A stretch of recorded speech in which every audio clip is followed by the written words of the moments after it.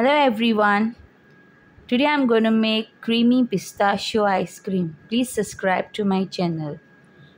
I have started by grinding my pistachios to a medium fine paste. In a bowl I have taken 2 cups of double cream and I'm going to beat it for 2 minutes just to loosen it up.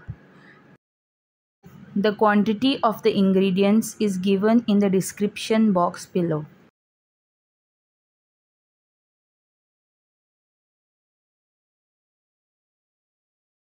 And now I will add into it condensed milk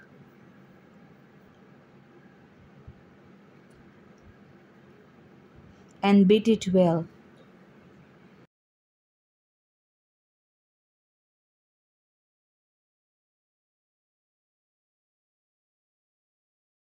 Next we will add into it the pistachio paste and beat it again.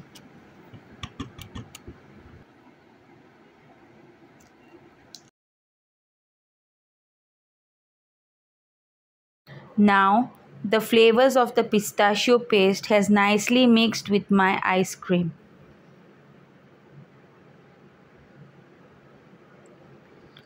Last we will add some vanilla essence. It is optional but I love to add it to my ice creams.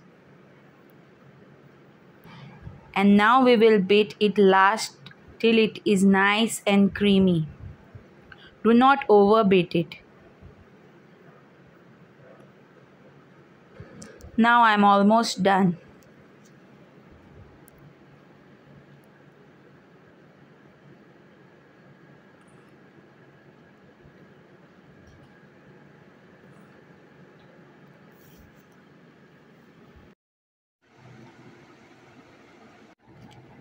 See, this is how it should be. It is perfect.